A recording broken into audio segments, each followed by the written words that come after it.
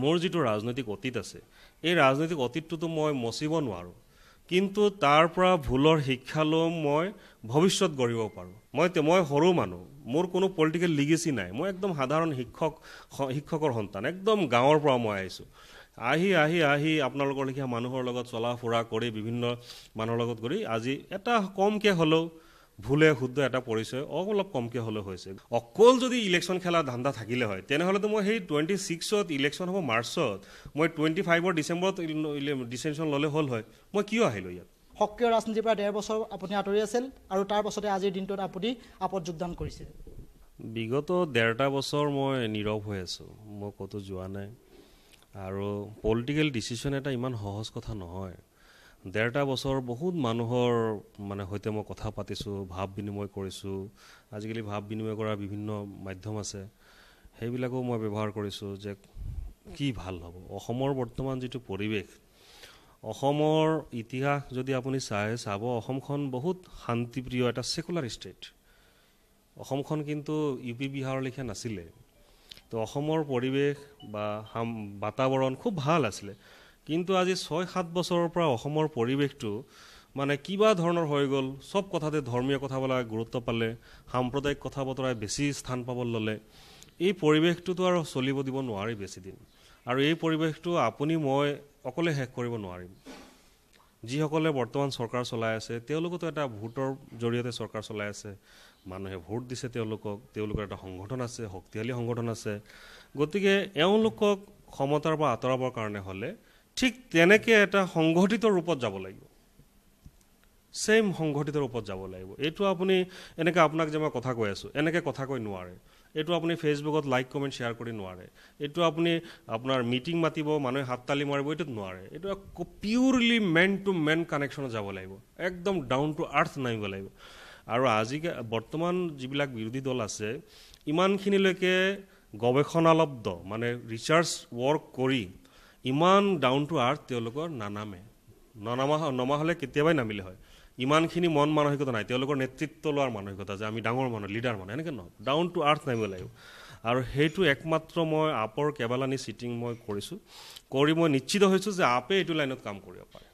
আৰু মোৰ এইটো লাষ্ট ডিচিশ্যন মই আজিও তেওঁলোকক কৈছোঁ যে চাওক মোৰ যিটো ৰাজনৈতিক অতীত আছে এই ৰাজনৈতিক অতীতটোতো মই মচিব নোৱাৰোঁ। কিন্তু তাৰ পৰা ভুলৰ শিক্ষা লৈ মই ভৱিষ্যত গঢ়িব পাৰোঁ। আপক যদি ভৱিষ্যতে অসমত এটা ভাল পৰিৱেশলৈ আমি আনাত কিঞ্চিত পৰিমাণে সহায় কৰিব পাৰোঁ সেইটোৱে যথেষ্ট। আৰু সেইকাৰণে মই আজি আপত জইন কৰিছোঁ। আৰ ডি এফৰ পৰা টিকেট নিদিয়াৰ বাবে আপুনি আৰ ডি এফ ত্যাগ কৰিছে নেকি? মই টিকেট সম্পৰ্কে বা পাৰ্টি সম্পৰ্কে একো কথাই মই কোৱা নাই আজি ডেৰ বছৰ হৈ গ'ল। মই আপোনাক কৈছোঁ যে চাওক মই মাৰ্জিত পৰিৱেশ মানে পলিটিক্স কৰিব বিচাৰোঁ। একদম মাৰ্জিত পৰিৱেশ। তেওঁলোকে টিকেট দিয়া নাই এইটো তেওঁলোকে হয়তো তেওঁলোকৰ লাইনত উপযুক্ত বুলি ভবা নাই। চবৰ নিজৰ নিজৰ মাইণ্ডছেট থাকে। কোনোবাই ৰাজনীতি কৰে যে চৰকাৰ কৰিব শাসন কৰিব গভৰ্ণেন্সৰ যিটো ছিষ্টেম তাত সোমাব। কোনোবাই ৰাজনীতি কৰে যে মই ৰাজনীতিৰ এখন দোকান এখন খুলি লৈছোঁ এই দোকানখন ভৱিষ্যতে বহল হ'ব বিয়পি পৰিব সেইকাৰণে নিজৰ নিজৰ মাইণ্ডছেট। এতিয়া তেওঁলোকৰ কেলকুলেশ্যনত চাগে মই সেইটো পৰা নাই। ইমান দল আছিল অসমত বিভিন্ন ধৰণৰ দল আছে কিন্তু আপৰ ভেটিটো যোনবোৰ তৃণমূল পৰ্যায়লৈ যোৱা নাই তেনে ক্ষেত্ৰত নাও পইচাত আপুনি কেনেধৰণে প্ৰাৰ্থী আগবঢ়াটো আপোনাক কথাটো ক'লোৱেই। আপটো বৰ্তমান চালকী অৱস্থাত আছে কিন্তু আপৰ যিটো কনচেপ্ট আপৰ যিটো সংগঠন কৰাৰ ষ্টাইল সংগঠনটো এতিয়ালৈকে বিয়পি যোৱা নাই জাষ্ট আৰম্ভ হৈছে। কিন্তু তেওঁলোকৰ যিটো ৰিচাৰ্চ ৱৰ্ক আপুনি অসমখন আপুনি অন্যান্য ষ্টেটৰ লিখা চালে নহ'ব। অসমৰ যিটো চাওক আপাৰ আছামৰ জনগাঁথনি লাৱাৰ আছামৰ জনগাঁথনি আকাশ পাতাল প্ৰভেদ। আপোনাৰ একে six schedule area Dima Hasao Karbi Anglong B T A D ইটোৰ লগত সিটোৰ আকাশ পাতাল প্ৰভেদ। একে ব্ৰহ্মপুত্ৰ ভেলী বৰাক ভেলীৰ পৰিৱেশ জনগাঁথনি ভাষা সংস্কৃতি আকাশ পাতাল প্ৰভেদ। এই চব মিলাইতো অসম। গতিকে অসমৰ বিভিন্ন জাতি জনগোষ্ঠীক লৈ সেই লাইনত পলিচি বনাই সংগঠন কৰিব পাৰিব লাগিব। আৰু এইটো আপে কৰিব। আপৰ লগত মই বহি দেখিছোঁ আপে পূৰা ৰিচাৰ্চ কৰিছে এই ওপৰত। যে কোন লাইনত গ'লে সংগঠনটো গ্ৰ' কৰি উঠিব। কিন্তু বেলেগ কোনো পাৰ্টীয়ে কৰা নাই। দলটোৰ প্ৰতি আপোনাৰ কি ভাৱ আহিলে যাৰ বাবে সেই দলটোৰ প্ৰতি আপুনি আকৃষ্ট হ'ল আৰু তাৰ ক্ষেত্ৰত আজিৰ দিনটোত আপুনি আপত যোগদান কৰিছে? সেইটো মই ৰিপিটেডলি কৈ আছোঁ এই কথাটো।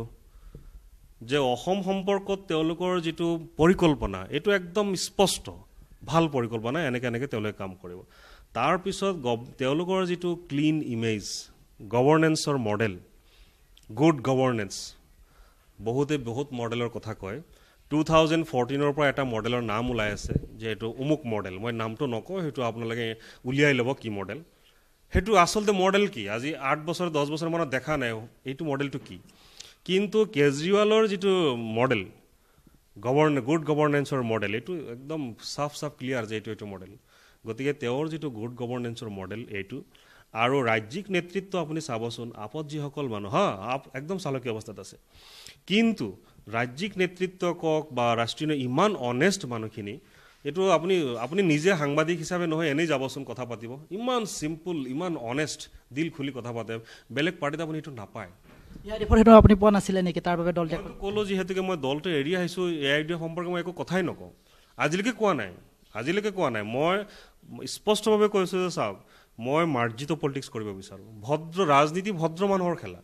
ৰাজনীতি হ'ল মানে চৰকাৰ বনোৱা গভৰ্ণেন্সৰ বিষয়। চৰকাৰ কেনেকৈ চলিব চৰকাৰ কেনেকৈ বনাব পলিচি কি হ'ব এইবিলাক গালি গালাজৰ জেগা নাই। যিবিলাক মানুহে ৰাজনীতিত গালি গালাজ পাৰে সেইবিলাক মানুহে কিয় পাৰে কিয় নকৰে কেনেকুৱা টাইপৰ পলিটিক্স তেওঁলোকে কৰে সেইটো তেওঁলোকৰ কথা। আপুনি মোক এটা বাইট দেখাই দিয়ক। লাষ্ট ফাইভ ইয়াৰ্ছ মই এম এল এ আছিলোঁ বিধানসভাত চাগে এনেকুৱা এটা ডেট নাই যি ডেটত মই কমেও দুটা তিনিটা মেটাৰ উঠোৱা নাই। কিন্তু কাকো মই বেয়াকৈ ক্ৰিটিচাইজ কৰা নাই। মই নিবিচাৰোঁ এইটো। এটা দল যিটো দল মই এৰি আহিছোঁ সেই দলক মই ক্ৰিটিচাইজ নকৰোঁ। মই ক্ৰিটিচাইজ নকৰোঁ। তেওঁলোকে তেওঁলোকৰ ৰাস্তাত চলিব মই মোৰ ৰাস্তাত চলিম মোৰ লগত তেওঁলোকৰ কোনো সম্পৰ্ক নাই। ডেৰ বছৰ হৈ গ'ল মই এৰি আহিছোঁ। তেওঁলোকে যি ভাল দেখে সেনেকৈ চলিব। মই যি ভাল দেখোঁ মই সেনেকৈ চলিম। কথা বতৰা হৈছিলে নেকি বদৰুদ্দি ৰাজমান কোনো লগত? ধৰণৰ টাচ নাই। কোনো ধৰণৰ টাচ নাই আৰু এই সম্পৰ্কে মই একো ক'বও নিবিচাৰোঁ। মইতো কৈছোৱেই যে মই তেওঁলোকৰ লেখীয়া হ'ব নোৱাৰোঁ। মই মই সৰু মানুহ। মোৰ কোনো পলিটিকেল লিগেচি নাই। মই একদম সাধাৰণ শিক্ষক শিক্ষকৰ সন্তান। একদম গাঁৱৰ পৰা মই আহিছোঁ। আহি আহি আহি আপোনালোকৰ লেখীয়া মানুহৰ লগত চলা ফুৰা কৰি বিভিন্ন মানুহৰ লগত কৰি আজি এটা কমকৈ হ'লেও ভুলে শুদ্ধ এটা পৰিচয় অলপ কমকৈ হ'লেও হৈছে। গতিকে মই এই কাম কেতিয়াও নকৰোঁ কাৰোবাক গালি পাৰিম কাৰোবাক সমালোচনা কৰিম এই কাম নহয়। সমালোচনা আপোনালোকে মোক কৰক। আজি যি ডিচিশ্যন লৈছোঁ অকল শুভেচ্ছা নহ'লে নহ'ব। বহুতে শুভেচ্ছা দিছে। মই শুভেচ্ছাৰ কাম নাই পলিটিক্সত শুভেচ্ছা আশীৰ্বাদ এইবিলাক ছ'চিয়েল কথা লাগিব ঠিক আছে। পলিটিক্সৰ মেইন বস্তুটো হ'ল আপোনাৰ সহায় সহযোগ সমৰ্থন লাগিব। সেইটোৰ দ্বাৰা আমি আগুৱাব পাৰিম। আৰু আমাৰ যাতে ভুল নহয় একদম কঠোৰ ভাষাৰে যিমান কঠোৰ ভাষা আপুনি ব্যৱহাৰ কৰিব পাৰে সেই কঠোৰ ভাষাৰে আপোনাৰ আম- আমাক সমালোচনা কৰিব লাগিব। তেতিয়া হ'ব কি আমাৰ লাইনটো ঠিক থাকিব আমি কক্ষচ্যুত নহওঁ আমি যি যিটো ডিৰেকশ্যনত যাম আপুনি যদি আমাক সাংঘাতিক ধৰণে ক্ৰিটিচাইজ কৰে তেনে আমাৰ ইয়াত ছিক্স চেঞ্চ এলাৰ্ট কৰি থাকিব যেনে আমি ক'ৰবাত নে ক'ৰবাত ভুল কৰি আছোঁ। গতিকে আমি যাতে কোনো ভুল নকৰোঁ আমাৰ যাতে কোনো ধৰণৰ গণ্ডগোল নহয় সেইকাৰণে আপোনালোকে আমাক অকল সহায় সহযোগ নহয় আমাক সমালোচনাও কৰক। যিখিনি আপোনাৰ অনুৰাগী আছিলে নাওবৈচা সমষ্টি যিখিনি আপোনাৰ অনুৰাগী আছিলে সেই লোকসকল আপত যোগদান কৰাৰ কিবা সম্ভাৱনা আছে নেকি? চাওক আজি অকলে মই যোগদান কৰিছোঁ মই কোনো মানুহক কোৱা নাই যে ডেৰ বছৰ হৈ গ'ল তোমালোকে পাৰ্টি এৰি দিয়া। কাকো মই কোৱা নাই। যিহেতুকে মই এতিয়া নতুন পাৰ্টিত জইন কৰিছোঁ নতুন পাৰ্টিত মই সোমাইছোঁ আপৰ মই মেম্বাৰশ্বিপ হৈছোঁ এতিয়া তেওঁলোকে ডিচিশ্যন ল'ব। তেওঁলোকে আপত সোমাব নে পুৰণা দলতে থাকিব? তেওঁলোকে ডিচিশ্যন ল'ব। তেওঁলোকৰ এইটো ফাণ্ডামেণ্টেল ৰাইট তেওঁলোকৰ ফাণ্ডামেণ্টেল ৰাইটক মই কিয় হস্তক্ষেপ কৰিম? আপুনি বিজেপিক ৰুধিবলৈ কংগ্ৰেছ আছে এ আই ডি এফ আছে তেখেতসকলে বিৰোধীক ৰুধিব নোৱাৰিব নেকি? বিজেপিক ৰুধিব নোৱাৰিব নেকি? আপুনি একদম আপোনালোকৰ অভিজ্ঞতা আমাতকৈ বেছি সাংবাদিক হিচাপে। আমি একদম নিৰপেক্ষ হিচাপে আপুনি কওকচোন আজিৰ তাৰিখত বৰ্তমান একজিষ্ট যিবিলাক পাৰ্টি আছে একজিষ্ট মানে বৰ্তমান যিবিলাক বিৰোধী দল আছে পাৰিবনে বিজেপি? বিজেপি এটা সুসংগঠিত ৰূপত পাৰ্টি কৰে। বিজেপি বিজেপি এটা জাষ্ট পলিটিকেল প্লেটফৰ্ম তাৰ পিছত more than sixty non political অৰ্গেনাইজেশ্যনে কাম কৰে। ইমান অৰ্গেনাইজড গতিকে বিজেপিক অৰ্গেনাইজড মুডত হৰুৱাব লাগিব। আৰু সেই অৰ্গেনাইজড মুডটো কংগ্ৰেছে কৰিব নোৱাৰে। বাকী পাৰ্টিবিলাকতো কোনো পধ্যেই নোৱাৰে। বাকী পাৰ্টিবিলাকতো কেনেকৈ চলিছে আমি দেখি আছোঁ না পোন্ধৰটা বছৰ। গতিকে একমাত্ৰ আপে পাৰিব। আপে এতিয়ালৈকে গ্ৰ' কৰা নাই কৰি আছে ষ্টাৰ্ট কৰিছে জাষ্ট গাড়ীখন ষ্টাৰ্টেই হৈছে। কিন্তু তেওঁলোকৰ যিটো ষ্ট্ৰাকচাৰ সংগঠন কৰাৰ যিটো মানে পদ্ধতি সেই পদ্ধতিৰ জৰিয়তেহে বিজেপিক আপুনি আঁতৰাব পাৰিব। আপক জিৰ'ৰ পৰা এশলৈ নিব লাগিব। কিয়নো এতিয়া সংগঠনৰ ভেটি তেনেই কম। মই নক'লেও হ'ব বহুতে কয় আপৰ সংগঠনৰ ভেটি নিচেই কম। তেনে ক্ষেত্ৰত আপুনি কেনেধৰণে আগভাগ ল'ব? আপৰ নিৰ্দিষ্ট পলিচি আছে প্ৰিন্সিপল আছে মই জাষ্ট আজি সোমাইছোঁ আজি প্ৰাইমাৰী মেম্বাৰ হৈছোঁ তেওঁলোকে গাইড আমাক দিব আৰু তেওঁলোকৰ লগত বহি মই আশ্বস্ত হৈছোঁ। কাৰণতে মই সোমাইছোঁ অকল যদি ইলেকশ্যন খেলা ধান্দা থাকিলে হয় তেনেহ'লেতো মই সেই টুৱেণ্টি ছিক্সত ইলেকশ্যন হ'ব মাৰ্চত মই টুৱেণ্টি ফাইভৰ ডিচেম্বৰত ডিচিশ্যন ল'লে হ'ল হয়। মই কিয় আহিলোঁ ইয়াত? এই তিনি চাৰি বছৰ আগতে মই কিয় যোগদান কৰিলোঁ? তেওঁলোকৰ কথাৰ প্ৰতি মই আশ্বস্ত হৈছোঁ। তেওঁলোকৰ লগত সংশোধন কৰি মই ভাল পাম। তেওঁলোকৰ সৈতে মোৰ মনে মিলিব। তেওঁলোকে গোটেই অসমখনক বুজি পাইছে যে অসমখনৰ ক্ষেত্ৰত এনেকৈ এনেকৈ লাইনত আমি আগবাঢ়িব লাগিব। গোটেই অসম যদি সংগঠনটো হ'ব লাগিব। আপোনাৰ এটা সমালোচনা কৰা দেখা পোৱা গৈছে সামাজিক মাধ্যমত যে আপুনি ক্ষমতাৰ বাবেহে আপত আহিছে এয়া দেশৰ পৰা টিকট বঞ্চিত হৈ আহিছে। বিভিন্ন ধৰণৰ মন্তব্য কৰিছে বা সামাজিক মাধ্যমত ইতিমধ্যে বিয়পি পৰিছে। তেনে ক্ষেত্ৰত আপোনাক সমালোচনা কৰা সকলক কি ক'ব? মইতো কৈছোঁ আপুনি সমালোচনা কৰক। মইতো আপুনি নুসুধাৰ আগতে কৈছোঁ আপোনালোকে মোক সমালোচনা কৰক কঠোৰ ভাষাৰে সমালোচনা কৰক।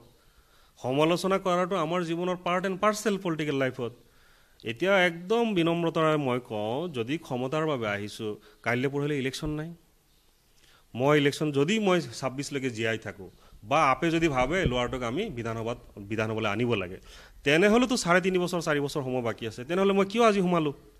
যদি ক্ষমতাৰ বাবে শুনাব লাগিলে হয় মই বিজেপিত গ'লোঁ হয় মই এ জি পিত গ'লোঁ হয় তেওঁলোক পাৱাৰত আছে। মইতো যোৱা নাই।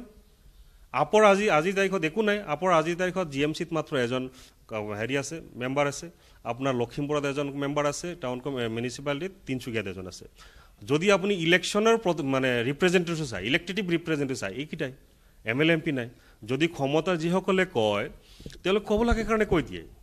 আৰু সেইকাৰণে মই কওঁ মোক ক'ব লাগে মোক গালি পাৰিব লাগে মোক সমালোচনা কৰিব লাগে তেহে এই কথাবিলাক ওলাই থাকিব।